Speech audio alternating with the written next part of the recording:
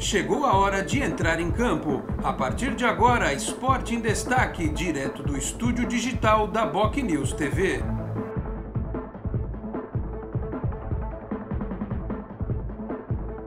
Meus amigos do Boc News, um grande abraço de volta para mais uma edição do Esporte em Destaque. Nesta quarta-feira, com os trabalhos eh, de edição, trabalhos técnicos do Felipe Rei, vamos atualizar aqui algumas informações a respeito do mundo do esporte. A mais importante das últimas horas foi, sem dúvida, a reunião virtual né, que envolveu elementos da Federação Paulista de Futebol com os clubes para tratar a possível volta do Campeonato Paulista, apesar de todas as dificuldades que o momento apresentam, né, é, as dificuldades que são apresentadas por conta da pandemia, é, foi criado lá um protocolo, enfim, é, mas de qualquer forma se chegou à conclusão que talvez não seja um momento ainda, né? O protocolo certamente será seguido, mas talvez mais à frente. E este vai ser um dos temas do programa de hoje, e por isso logo de cara eu chamo o Anderson Firmino para trazer as primeiras informações dentro desta edição do Esporte em Destaque. Tudo bem, Anderson? Grande abraço. Bom dia, Alex. Bom dia a todos que acompanham mais o programa Esporte em Destaque. Prazer em contar com vocês mais uma vez. Pois é, a questão do futebol, os campeonatos nacionais e regionais continuam em abertos aqui no Brasil, com as federações discutindo o protocolo, discutindo de que forma fazer essa retomada, mesmo porque a pandemia continua a todo vapor, aí, continua fazendo vítimas e, e crescendo em número de contaminados, em número de mortos. Mas a Federação Paulista teve uma reunião na última segunda-feira e meio que desenhou alguns protocolos já voltados para o reinício do campeonato estadual, do campeonato de São Paulo. E entre esses protocolos existem algumas coisas que ainda não tem data né, para o retorno da competição, mas algumas coisas, algumas ideias já foram estabelecidas, né, como a volta numa espécie de Copa do Mundo, formato de Copa do Mundo, que os clubes saem das concentrações, vão para o estádio, jogam, depois retornam para o seu isolamento. Questão de menos contato com os árbitros, né? o mínimo de contato possível com os árbitros, jogadores no meio do gramado né? durante o jogo. Possivelmente os atletas jogarem de mão comprida, de luvas e sem comemorar os gols. Seria uma orientação, talvez não fosse uma obrigação, mas existem essas preocupações. Eu particularmente acho que isso tira muito da, da questão do futebol, da graça do futebol, né? Para voltar desse jeito, melhor esperar mais um pouco. Sei que a pressão é grande, a questão econômica fala alto, fala muito alto nesses casos, mas são limitadores na, no que se faz futebol, da forma como se faz futebol, que realmente é muito complicado voltar dessa forma. Tanto que ontem, no Rio Grande do Sul, Inter e Grêmio voltaram às atividades, iniciaram uma volta às atividades, só que parecia coisa de outro planeta, né? aquele cuidado, aquela higienização e tal, e não tem contato, todo mundo de máscara, isolamento. Será que vale a pena retomar as atividades de futebol nesses termos? Eu pergunto porque quem define essas coisas, quem decide ah, o destino dos campeonatos, não entra em campo, não calça chuteira, geralmente está no ar-condicionado, nem conseguem se reunir presencialmente, tem que ser de forma virtual, os presidentes das federações, os clubes. Por que, que os atletas têm que se expor né, dessa forma? Então, é uma situação ainda muito complicada, muito indefinida é, sobre os campeonatos nacionais. Só que tem atleta, Alex e amigos, que estão tão ansiosos pela volta do futebol que acabam cometendo alguns desatinos. É o caso do Casares e do Otero do Atlético Mineiro, que foram flagrados numa pelada em Belo Horizonte, na região metropolitana de Belo Horizonte. Essa partida foi transmitida numa live nas redes sociais. E aí o pessoal acabou descobrindo tal, pegou muito mal, tanto que o Atlético já encomendou exames de Covid-19 para os dois, para poder certificar de que não, não aconteceu nada com eles, mas a falta de, de cabeça, né? a falta de conscientização desses dois jogadores. Né? Uma notícia boa, ainda por conta da, da questão da pandemia, né? É, cuidado que a CBF está tendo com os árbitros, né? com, a, com a classe dos árbitros, que é a menos favorecida economicamente diante dessa cadeia do futebol. A CBF anunciou mais um aporte de dinheiro, agora 900 mil reais, para os árbitros e assistentes, enfim, eles que precisam bastante desse dinheiro, porque não tem outra forma de. Muitos não têm outra forma de sobrevivência, então tem esse, esse apoio da CBF, já teve no mês passado, agora volta a acontecer. E falar em dinheiro, os clubes, segundo a matéria do UOL, do Marcel Riso, né, do, do blog do portal UOL, a TV Globo, né, que é a detentora dos direitos de transmissão dos campeonatos no Brasil, já prometeu o pagamento da primeira parcela do, da cota do Campeonato Brasileiro para julho, né, ainda que não haja uma definição sobre a data do Campeonato Brasileiro, do início do Campeonato Brasileiro, e retomar o pagamento do, dos estaduais, né, que também havia sido paralisado por conta do, da pausa no campeonato. Né? Então eles tinham suspendido, a TV Globo havia suspendido o pagamento das cotas.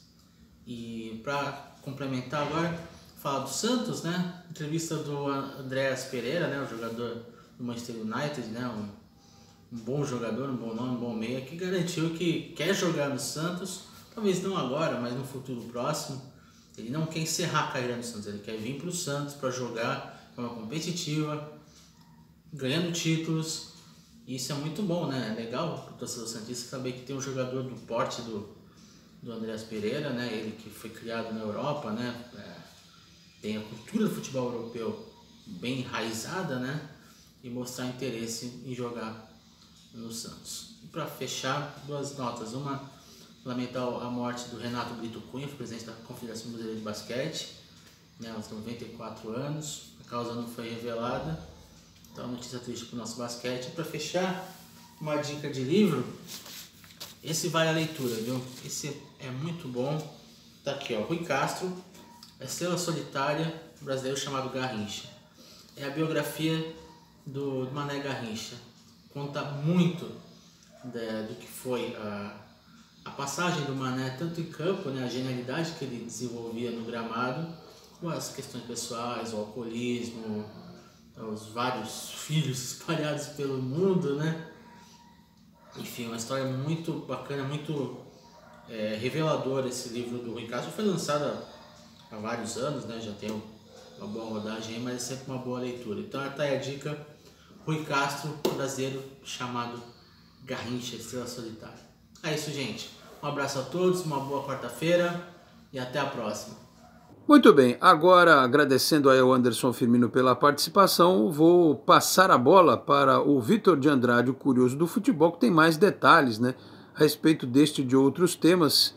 É, o pessoal aí na expectativa né, do retorno das atividades, mas é o que a gente sempre tem dito, né? Se na Europa, é, onde você teve uma situação que agora começou a dar uma melhorada, né? Futebol provavelmente só em setembro, como é que a gente vai ter futebol aqui agora, né? No mês de maio, junho, talvez julho, né? Vamos aguardar. É, mas realmente a, a situação da saúde do, dos atletas, árbitros e elementos de comissão técnica precisa ser bastante é, analisado neste momento. Mas, passando a bola, como eu disse, para o Vitor de Andrade, curioso do futebol, que tem mais detalhes. Tudo bem, Vitor? Um abraço. Bom dia, Alex. Bom dia a todos que estão nos acompanhando aqui no Esporte de Destaque dessa quarta-feira, dia 6 de maio, com as últimas novidades aí do mundo do futebol.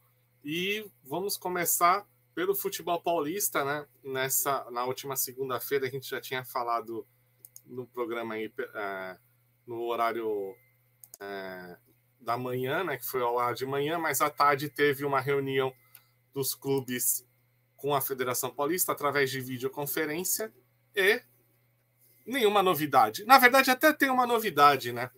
A federação é, divulgou que definiu com os clubes que o campeonato só volta quando as autoridades de saúde permitirem, que eles estavam começando a falar em retorno da, do, dos treinamentos nessa semana, retorno das competições em duas depois de 15, 15 ou 20 dias. Mas o que chegou-se à conclusão é que enquanto as autoridades de saúde não garantirem que há segurança para retornar com as competições, o Campeonato Paulista não tem como voltar. Como eu falei, tinha uma novidade, né?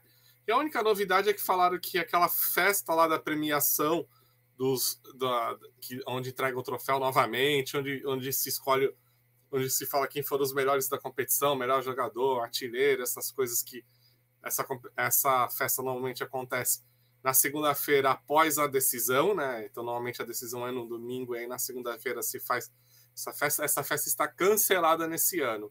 É, a única coisa é que eles não deixaram claro que, ter, que se terá ou não as, as, as premiações individuais, né? É, assim, é, anuncia quem, quem são os, prêmios, os ganhadores dos prêmios individuais, mas óbvio, sem aquela festa que a gente já estava acostumado a ter na, na segunda-feira. Então a festa está cancelada e o Campeonato Paulista não tem data confirmada de retorno, será a, a competição só retornará quando o, as autoridades de saúde falarem que está seguro que pode ter atividades aí reunindo mais pessoas, até porque a gente está numa situação complicada na questão do, do coronavírus, né? É, o último boletim informativo dos casos deu que a, nas 24 horas anteriores foram 600 mortes, é o maior número registrado no país até então.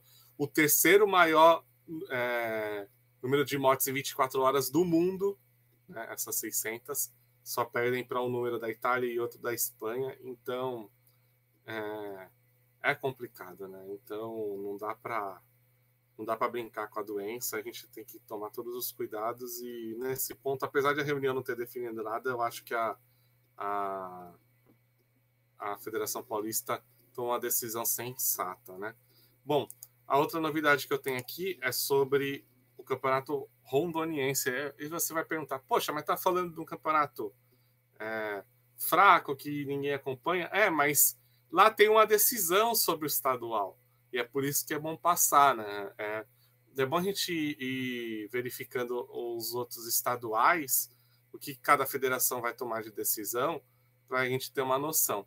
Bom, a Federação de Rondônia é, decidiu junto com os clubes que o campeonato vai retornar apenas em novembro de 2020.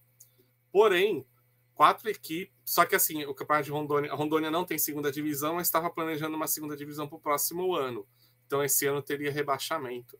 E eles cancelaram o rebaixamento e decidiram que quem, quem desistisse da competição não, não sofreria punições. Então, quatro equipes é, entregaram a carta de desistência, mas o campeonato continua com as outras sete equipes, né? É, e aí tem uma informação rápida que, que, foi, é, que foi informada ontem que o Jobson, aquele jogador do Botafogo, Cruzeiro, que já teve vários problemas com, com vício em drogas, foi anunciado pela União Cacoalense, que é uma das equipes que ainda vai continuar na competição. Então, em novembro, o Jobson, que estava no Independente do Pará, vai disputar a competição. É, é mais um caso curioso, mas o, o interessante dessa dessa informação é falar como é que a Federação Rondoniense é, definiu a situação do seu campeonato, né? É a segunda que já tem um, quer dizer, a primeira que definiu tudo, porque a Federação de, de do Amazonas é, tinha definido que o campeonato não retornaria. A única questão é que se ele seria cancelado, né? Ou somente é, paralisado. E aí qual é a, a diferença?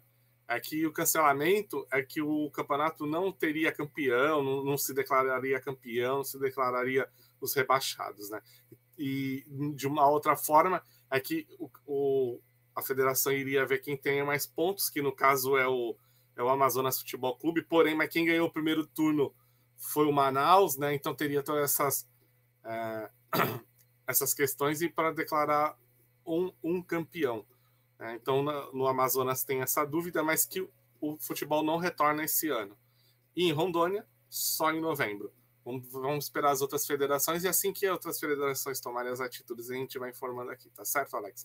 Bom, um, uma boa quarta-feira a todos, um bom resto de semana e até segunda-feira, se Deus quiser. Um abraço. Tá certo, Vitor. Muito obrigado aí pela sua participação. Vou para o intervalo bem rapidinho. Daqui a pouco volto com o Tony Vasconcelos trazendo as informações da velocidade. Até já. A Endocentro Santos está há mais de duas décadas cuidando da saúde da população da Baixada Santista, com diagnósticos precisos, equipamentos modernos e atendimento humanizado. A clínica oferece serviços de endoscopia, colonoscopia, laringoscopia, balão gástrico, medicina preventiva, consultas psicológicas, pré-anestésicas e muito mais. Oferecemos Também um exclusivo Day Clinic durante o preparo de seu exame, com cardápio e cuidados especiais. Agende já seu exame ou consulta pelos telefones 13 3235 1819, 3235 1796 ou pelo WhatsApp 13 99744 1819. Endocentro Santos, inovando sempre no cuidado com a sua saúde. Responsável técnico Dr. Nelson Marfil. Muito bem, foi rápido, né? De volta aqui do, no Esporte em Destaque após o nosso intervalo. É, para chamar o Tony Vasconcelos, que tem as informações da velocidade, assim como todas as modalidades, revendo custos, né? revendo investimentos. E neste momento da pandemia, obviamente que a Fórmula 1, apesar de ser um circo milionário, ter tanto dinheiro, ia ser impactada também. Mas deixa eu é, entregar o volante para o Tony Vasconcelos, que ele tem informações mais precisas a respeito deste tema. Tudo bem, Tony? Grande abraço. Olá, meus amigos, um grande abraço a todos, um abraço a você aqui ligado no Esporte em Destaque, um abraço, Alex. Vamos falar da Fórmula 1, notadamente do, da redução do teto de custos da Fórmula 1. Na última segunda-feira, o diretor da Fórmula 1, o Ross Brown, ligado à Liberty Media, declarou à imprensa, depois de reunião longa com as equipes, que diminuiu ainda mais o teto de custos. De 175 milhões de dólares para 2021, cairá o teto de custos para 145 milhões de dólares. Esse valor é o valor que pode ser gasto com o projeto, com o carro. Nada a ver com o valor da, do salário dos pilotos, tá, tão, estão fora disso o salário dos pilotos, dinheiro que a equipe invista em qualquer questão uh, uma questão imobiliária, uma questão de construir um, um túnel de vento, enfim, algumas coisas técnicas, mas o carro ele tem que ser pensado apenas num valor que é de 145 milhões de dólares. Como esse carro de 2020 será o carro de 2021 e pouco deve mudar para 2022, porque até o momento a nova regra é para 2022, mas provavelmente será apenas a modificação geral dos carros naquela grande modificação que nós já comentamos aqui anteriormente, só para 2023. Então o Ross Brown, na reunião, conseguiu convencer as equipes dessa redução de custo. Não foi difícil convencê-las, o detalhe é que a Ferrari não queria. Mas a Ferrari hoje, inclusive, eh, foi ontem que, que o seu CEO, o seu presidente, eh, o chefe executive officer, na verdade, o CEO Louis Camilleri, declarou que a Ferrari tem perdido muito dinheiro, como todas as equipes, e a Ferrari tem uma fábrica de automóveis também de luxo e que vendem em número reduzido, com preços muito altos. E a questão da Fórmula 1, ele, ele disse, o Camilleri, que a perda foi imensa em termos financeiros. Por quê? Porque o patrocinador também não pode estar, uh, no momento, uh, não pode pagar aquilo que muitas vezes estava acordado. Estão renegociando contratos como na vida do dia a dia se renegociam contratos de aluguel, né? a parcela do automóvel, eh, a parcela do, pagamento do apartamento, da, casa própria, a mesma coisa. O patrocinador também sentiu e falou: olha, não vou pagar porque não dá. E isso o Camilleri disse que tem sido uma coisa discutida, a Ferrari tem absorvido isso, então a Ferrari também aceitou essa redução de custos. Porque havia um momento em que a Ferrari, muito tempo que a Ferrari foi contra isso própria McLaren é totalmente a favor da redução de custos. A McLaren, que já foi gigante e que hoje tem problemas a resolver, desde que saiu do motor Honda, que foi um problemão e perdeu muito dinheiro. E todo mundo precisa entrar para um novo mundo, para um momento diferente que nós vamos viver após essa pandemia. Aliás, o Camilleri falou que a grande esperança, é claro, de todos é que em 2021 tudo esteja certo, as corridas aconteçam sem nenhum problema e aí novamente começa a, a, a entrar o, o dinheiro de forma diferente aí para todos, eh, dentro do, do, patamar que a Ferrari esperava. Com muita esperança foi a declaração do, do CEO da Ferrari, o Louis Camilleri. Com relação às corridas, só lembrando que a Austrália cancelada, Mônaco cancelada e França cancelada.